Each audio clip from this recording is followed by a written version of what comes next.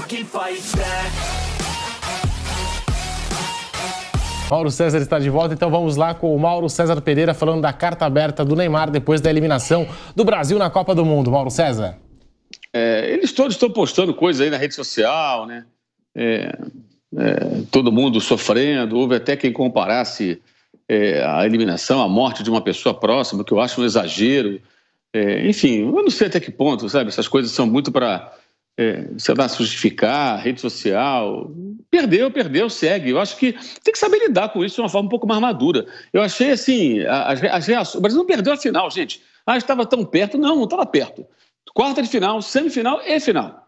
Se o Brasil passa pela Croácia, teria a Argentina. Passando pela Argentina, provavelmente a França. Perto nada, estava bem longe. Tinha uma longa caminhada para ser campeão.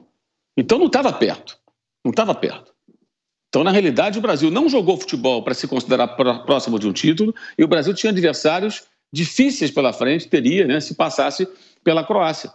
Eu acho que essa é a questão. Então, o que eu vejo é o seguinte: muito pouca autocrítica, é, muito confete, que todos jogam deles mesmos, dizendo que o trabalho foi ótimo. Não foi, não foi, comprovadamente não foi. E aí fica essa coisa para a rede social. É um direito dele de colocar na rede social, desabafar. Mas eu acho que é relevante no contexto do que de fato aconteceu. É, um, é uma versão dele, né? como dos outros jogadores também. Aquela coisa, não, meio que se. Não diria se vitimando, mas é, sentindo um pouco de pena de si mesmo e tal. Eu acho que assim, você vai para uma competição como a Copa do Mundo, a chance de perder é maior do que ganhar, de ganhar. E me chamou muita atenção a maneira como os jogadores ficaram abatidos. Se fosse uma final, até entenderia, mas ainda tinha uma longa caminhada. Parece que eles não estavam minimamente preparados para algo que era possível que é perder para vice-campeão do mundo, seja nos pênaltis, no tempo normal, na prorrogação, sei lá, e ser eliminado. Um jogo desses, você entra em campo, você tem que saber o seguinte, cara, esse jogo é sério. Se a gente não for bem, a gente vai perder. Então, tem que estar preparado para tudo. Parece que eles não. É, é como se não existisse na cabeça dos jogadores ou no íntimo desses jogadores a menor possibilidade de uma eliminação até que ela se, que ela se consumou. Essa é a sensação que dá. Tamanha foi essa comoção, uma coisa que eu não estou vendo nem em outras seleções. Sabe assim, da forma como os jogadores ficaram arrasados e se manifestam em rede social. Eu acho, sei lá, parece um pouco até exagerado, sabe? Perdeu, acontece. Segue, tem que realmente seguir, levantar a cabeça, seguir em frente. E para uma Copa do Mundo você tem que entrar sabendo que a chance é maior de perder do que de ganhar. Isso é estatístico, né? Você pega a história das Copas do Mundo, o Brasil perdeu mais Copas do que ganhou. Então você tem que estar preparado para isso.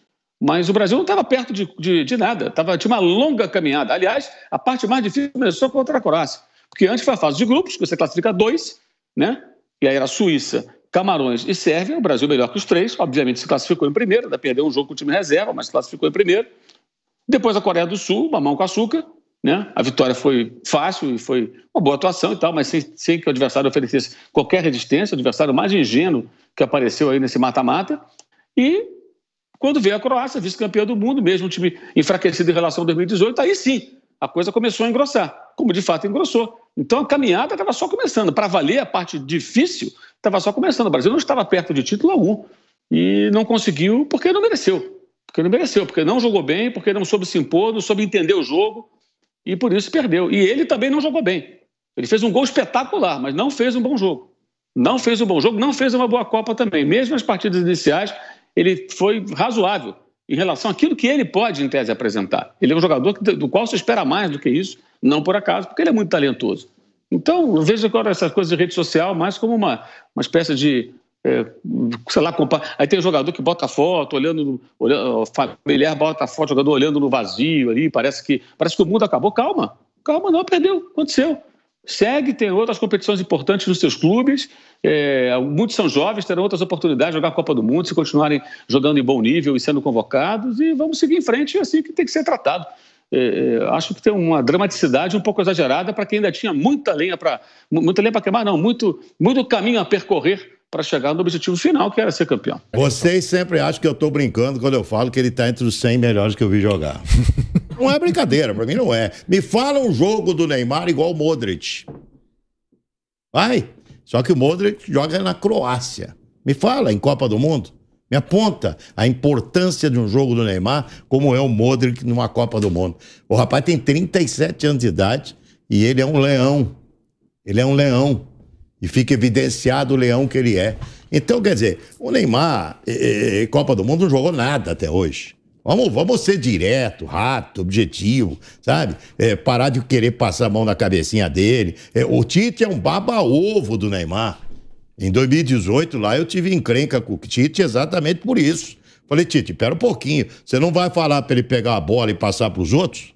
Porque no primeiro jogo de 2018 na Rússia, ele pegou a bola, pôs embaixo do braço e não dava para ninguém. Ele achava que ele tinha que jogar sozinho e não tinha. Os outros 10 não estavam no time. Ah, não, ele tá entre os três melhores do mundo, não sei o quê. Falei, pô, Tite, para de babar ovo, isso é um baba-ovo. E ele continuou sendo um baba-ovo do Neymar. Não vou longe, vai. Ronaldo Fenômeno, um extra sério. O Neymar tá longe disso. Você entender isso. Você entender que o Neymar tá longe, por exemplo, de um fenômeno como foi o Ronaldo, sabe? O Ronaldo, sim, chegou numa Copa do Mundo com o joelho arrebentado em 2002. Chegou na decisão da Copa, foi lá, meteu dois gols, ganhamos da Alemanha 2 a 0 numa final inédita de Copa Brasil e Alemanha, dois maiores vencedores de Copa do Mundo. Então, esse sim é o tipo do jogador que você fala, não, esse é diferente, sabe? O Rivaldo jogou mas muito mais que o Neymar nas Copas. 98, o Rivaldo, para mim, foi o melhor jogador da seleção brasileira. E 2002 também. O que o rival jogou na Copa 2002 também foi uma barbaridade, só que não tem mídia, nunca foi midiático, nunca se preocupou com isso. E agora, com essa falta de talentos, o que tem de diferente é o Neymar.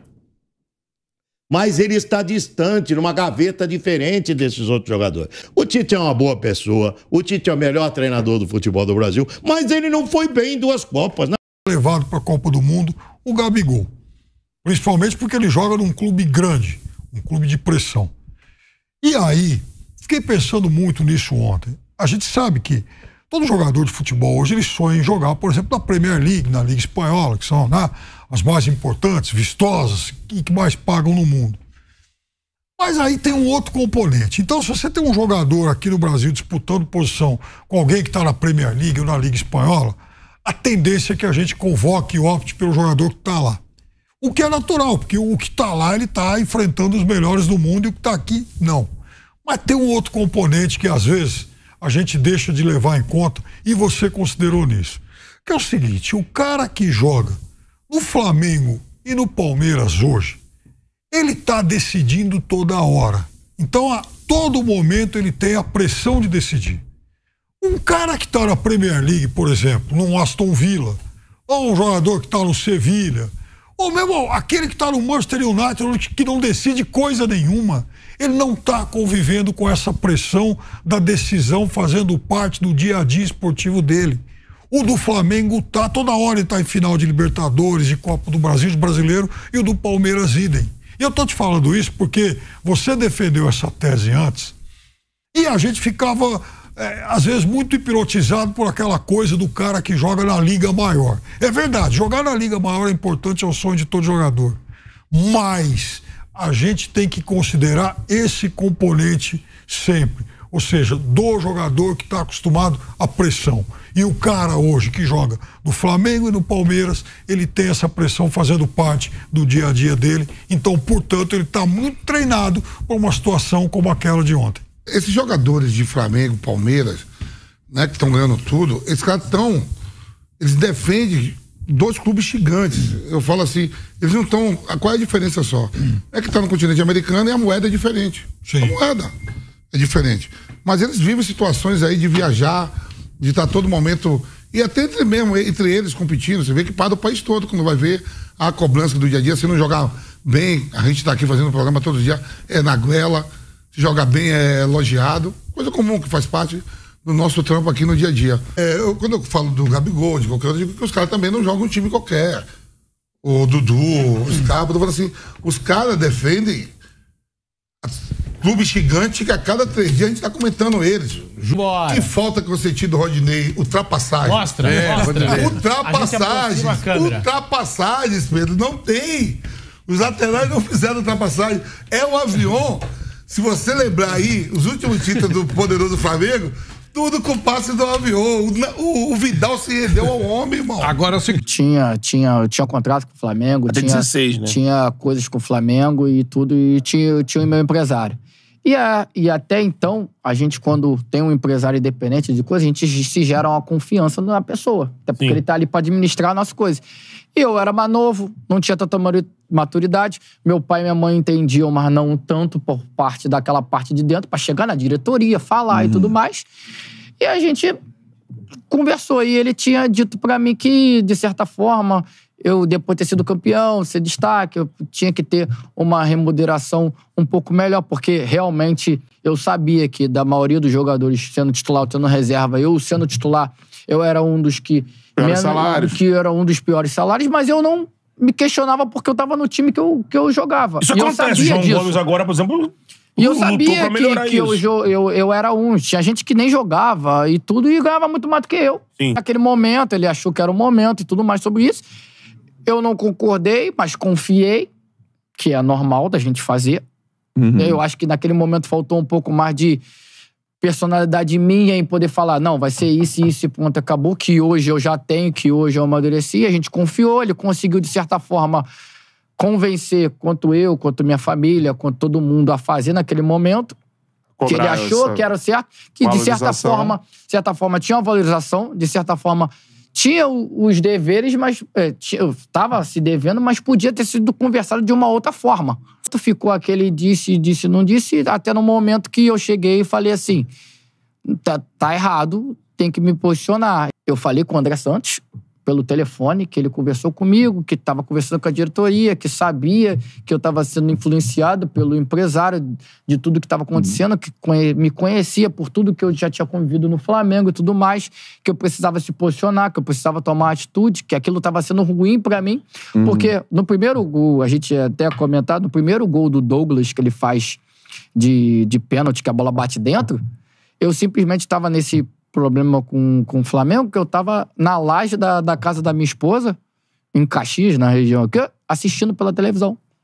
E eu, eu, eu me olhava e falava, era pra eu estar lá e eu tô aqui sentado. E de certa forma ele conseguiu fazer eu me afastar da minha mãe, do meu pai e tudo. Aí também me afastou da minha esposa, que era minha namorada na época, e eu, eu começou a só ficar nesse bloqueio entre ele como eu falei, também faltou, de certa forma, o posicionamento meu, de tudo de maturidade que hoje tem.